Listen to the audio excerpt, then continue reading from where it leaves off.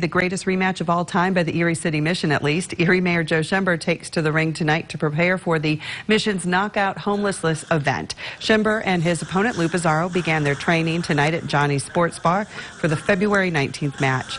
This is Mayor Schember's second time getting in the ring. He says he really enjoys boxing the more he does it and is really looking forward to fight night. Very happy to be part of it. I want to do all I can to help them and the wonderful work that they do. So I'm, I'm really happy to be part of it, and I do enjoy it. Uh, typically, I don't like sports where you're trying to hurt the other person, but in this, we're more trying to put on a good show, frankly, and uh, we're really trying not to hit each other that hard. The Knockout Homelessness event takes place at the Bayfront Convention Center at 6 p.m.